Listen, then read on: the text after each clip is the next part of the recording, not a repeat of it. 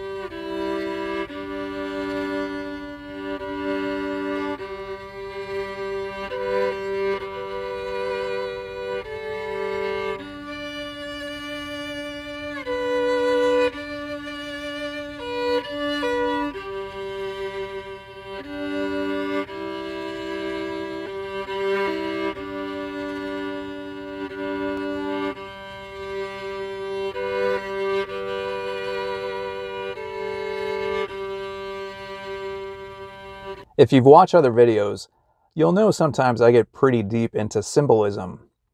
When I was making all my church visits, uh, one thing I often wondered about was the very first time the word church was used in the Bible. So the word church first appears in Matthew 16 18 when Jesus Christ himself is talking to Simon Peter. Upon this rock I will build my church. So when you think of a rock, you think of it being very solid, very hard. It's not going to break, it's not going to crack. And one of the funny quirks about Jesus during his ministry is when he would talk with his apostles, he often would nickname them. So with Simon, he nicknamed him to be Peter, which meant rock. So when you hear, Upon this rock I will build my church, for a very long time I often referred to that as Simon Peter, being the rock, especially in Acts as Simon Peter's ministry kind of takes off. But with Jesus Christ, you know, when he would say things with all the metaphors and the richness of what he would use in the parables, it usually had much deeper meaning. So it got me thinking, well, wait a minute. Maybe the rock that he's referring to is this blue rock that we're on right now with planet Earth. But then also, maybe the rock he was referring to was himself being the bedrock of the church. Because if you accept Jesus Christ into your life as the foundation, you become a member of Christ's church. So I thought about it, and maybe it's not just one of the three, maybe it's all three together. Because, especially Simon Peter, because when you think about it, again, he was supposed to be this rock. Well, what happens? Jesus Christ predicts that Simon Peter, you're this rock, but you're going to crack. You're going to deny me. And sure enough, when Jesus is taken into custody, Simon Peter cracks. And when he's when Jesus is crucified, where is Simon Peter? He is broken. And what is going to happen with a broken rock? It's not going to be much good anymore. So when Jesus resurrects and continues his ministry, it's like you also see this transformation, this resurrection in the mindset of Simon Peter. And next thing you know, this guy who was supposed to be this lowly fisherman, uneducated, he was supposed to be out in a lake someplace catching some fish. Next thing you know, he is enabled by the Holy Spirit and becomes this amazing preacher, standing up for the gospel and standing up for Jesus Christ and the truth. Well, all throughout the Old Testament, you often see God gives a commandment and man has a, a really great habit of messing everything up. So when it comes to the church, it is no surprise man is going to mess it all up. So obviously the great schism in 1054, you have that crack of the church between the Catholics and the Orthodox Church. Then in the 1500s, you have Martin Luther.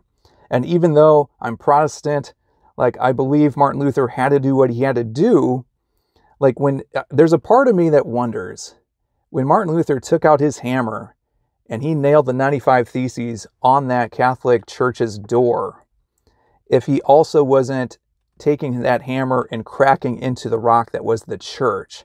Because ever since, you see so many cracks, so many divisions, so many fragments now that have continued and continued and continued to break.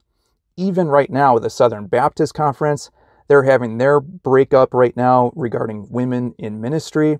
You even have the United Methodist Church. They're having their issues over gay marriage. We just keep seeing more and more and more cracks in this rock. So, what to do about it? Growing up Lutheran, I often heard, you know, what the church needs is that it was in need of reformation. Uh, I was at Asbury a few months ago, and the term I heard is the church was in need of resurrection. But then when I first was introduced to Latter day Saint theology, the term restoration was the first time I ever heard of. You know, you have the, the rock that was the church, and, you know, man screwed it up. We have all these cracks. Like with Joseph Smith, it was with the restoration. It's like, are you trying to heal this rock back together, or is it a completely new rock?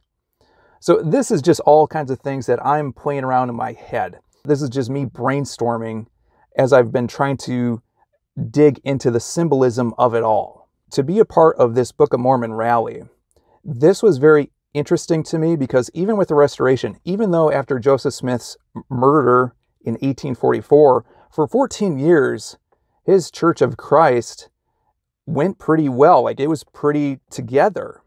And like the majority, even after his murder, you have the majority with the Church of Jesus Christ of Latter day Saints moving to Utah. You have the smaller splinter groups. But after being a part of something like this, I saw just so much acceptance, so much unity for Jesus Christ through the Book of Mormon. I don't get that same sense from a Protestant perspective. I don't see a bunch of Protestant churches getting together and having like a Holy Bible rally or anything like that. So I, I saw this and I was just like, hmm, what's going on here? The Book of Mormon rally was held last month at Good Shepherd Community of Christ Church in Kansas City, Missouri. It was just outside Independence where you see all these headquarters of different restoration branches. So the very first night, um, like usually with these church visits, I always go in incognito. Like I'm nobody special.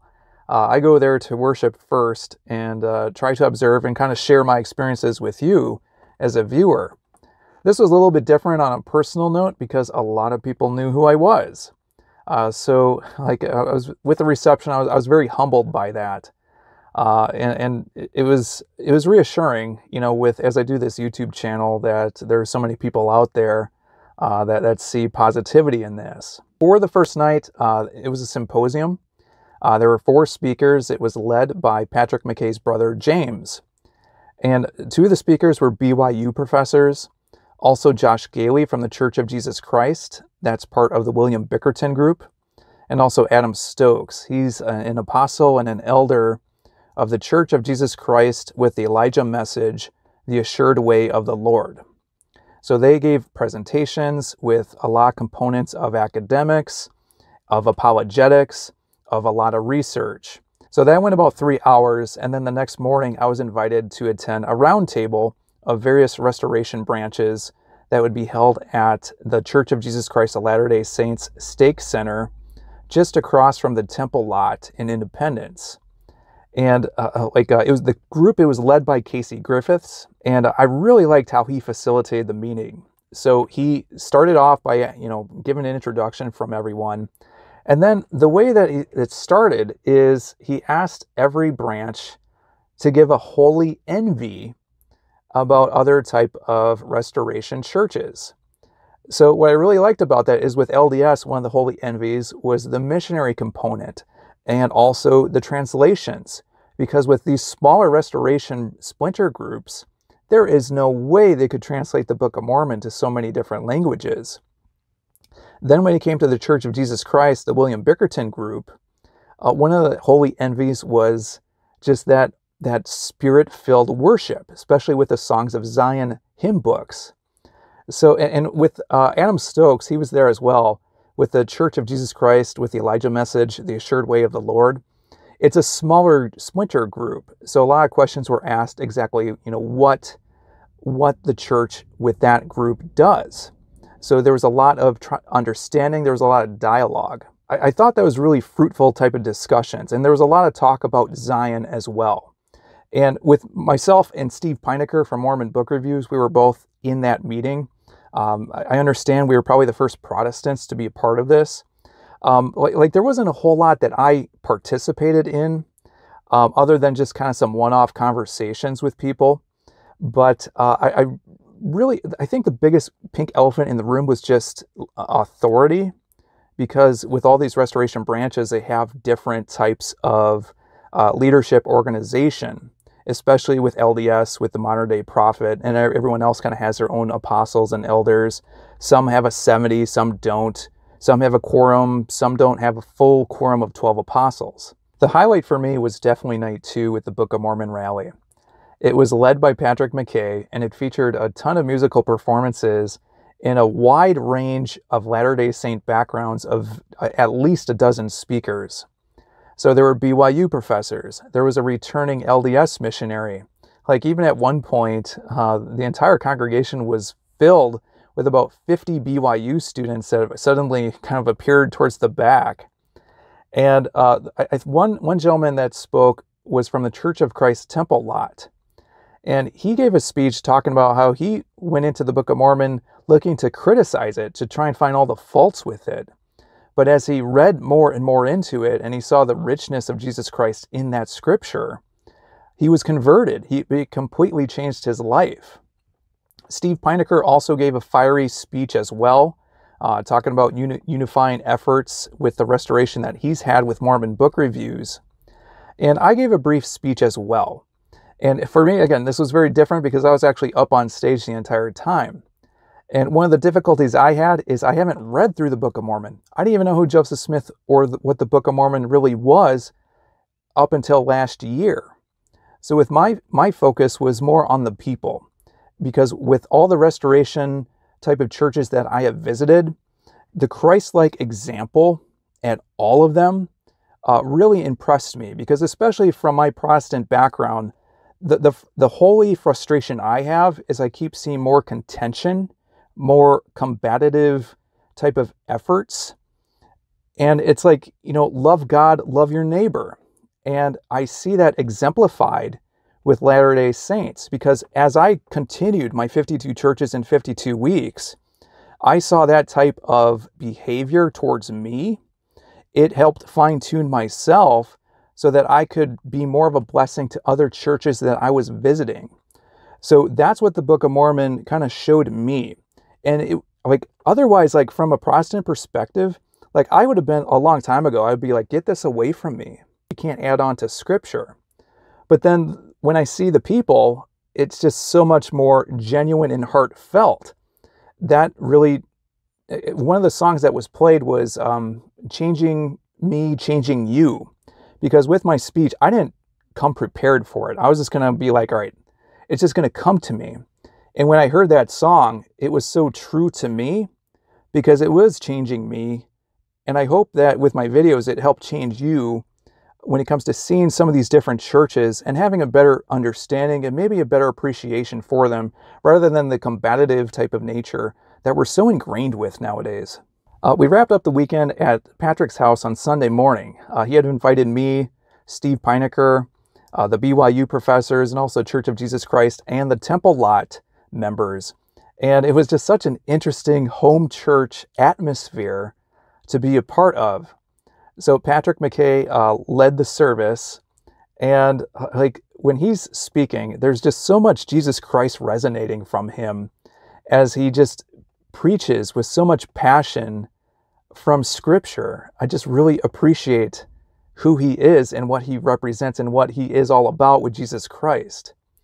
Um, afterwards, we had lunch, and then like I had to take off, but so many people were sharing their testimonies. And one of the th- things I love about learning with Latter day Saints is the testimonies. Like, what is your relationship? What has Jesus Christ done in your life?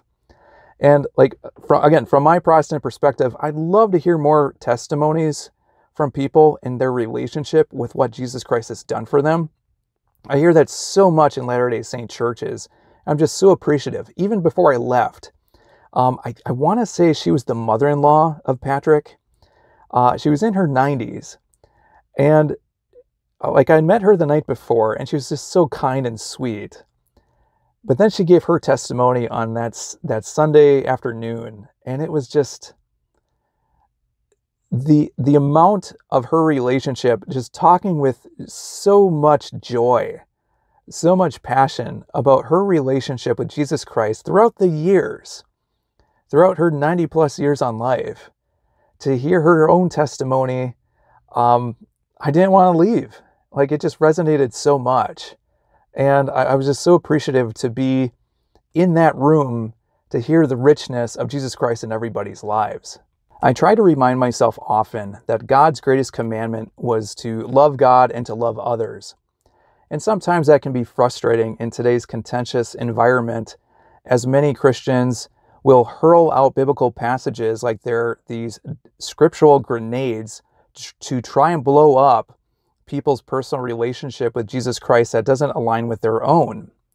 And after this, and even with this video, like I often kind of wondered with the church, it's this rock that has split. But during my conversations and learning from Patrick, he had a much more optimistic approach to this, where he sees God planting seeds throughout all the different restoration churches that he's dialogued with. And like that really got me thinking because like the way that he sees it is the more that he has reached out, the more that he's seen miracles throughout all these different fields.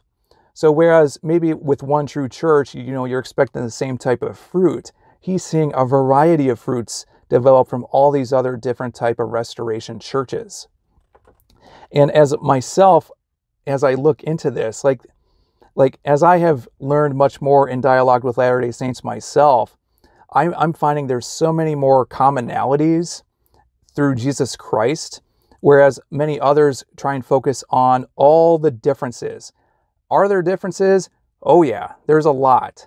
But instead of putting the microscope on all the differences that there is, like we're not planting gardens together because with Zion, isn't it supposed to be this garden? You can't create the Garden of Eden with rocks. You need to plant it. You need to water it. You need to show sunshine and then let it wait. Let God's hand work through Father Time in the dirt, in the soil, to bring something rich, something fresh out of that garden. And the only way that we're going to be able to do that is through love. So, from anything I got out of this visit, it's plant seeds, plant love, because that's going to be the greatest way that we can all gather together, no matter if we're Latter day Saint, Protestant, Catholic, whatever. If we're showing love to others, I think that's a pretty good head start. We're going to wrap it up on that. Hope you enjoyed this week's visit to the Book of Mormon rally in Kansas City, Missouri. As always, feel free to like and subscribe. I'll have some other videos up here with other Latter day Saint church visits. But until next time, hope you have a good one.